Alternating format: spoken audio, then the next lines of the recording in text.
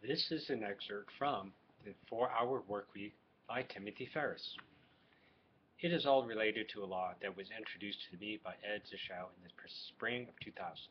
I had arrived to class nervous and unable to concentrate.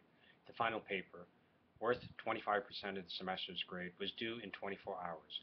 One of the options, and that which I had chosen, was to interview the top executives of a startup and provide in-depth analysis of their business model the corporate powers that had to be the corporate powers that be had decided last minute that I couldn't interview two key figures or use their information due to confidentiality issues and pre-IPO precautions.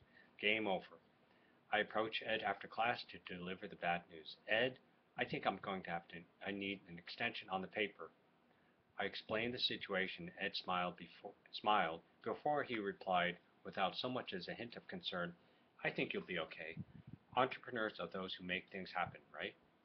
24 hours later and one minute, one, one minute before the deadline, as his assistant was locking the office, I handed in a 30 page final paper. It was based on a different company I'd found, interviewed, and dissected with an intense all nighter and enough caffeine to get an entire Olympic track team disqualified. I ended up being one of the best paper. It ended up being one of the best papers I've written in four years, and I received an A. Before I left the class the previous day, Ed had given me some parting advice Parkinson's Law. Parkinson's Law dictates that a task will swell in perceived importance and complexity in relation to the time allotted for its completion. It is the magic of the imminent deadline. If I give you 24 hours to complete a project, the time pressure forces you to focus on the execution, and you have no choice but to do only the bare essentials. If I give you a week to complete the same task, it's six days of making a mountain out of a molehill. If I give you two months, God forbid, it becomes a mental monster.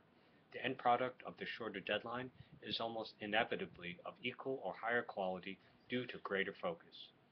This presents a very curious phenomenon. There are two synergistic approaches for increase, increasing productivity that are inversions of each other. 1. Limit tasks to the important to shorten the work time, 80-20. 2. Shorten work time to limit tasks to the important, Parkinson's law. The best solution to both the best solution is to use both together. Identify the few critical tasks that contribute most to income and schedule them with very short and clear deadlines. If you haven't identified the mission critical tasks and set aggressive start and end times for their completion, the unimportant becomes the important. Even if you know what's critical, without deadlines that create focus, the minor tasks forced upon you or inv invented, in the case of the entrepreneur, will swell to consume time, will swell to consume time until another bit of minutia jumps in to replace it, leaving you at the end of the day with nothing accomplished. How else could you drop off? How else could dropping off a package at UPS, setting up, a few, setting a few appointments, and checking email consume an entire 9-5 day? Don't feel bad.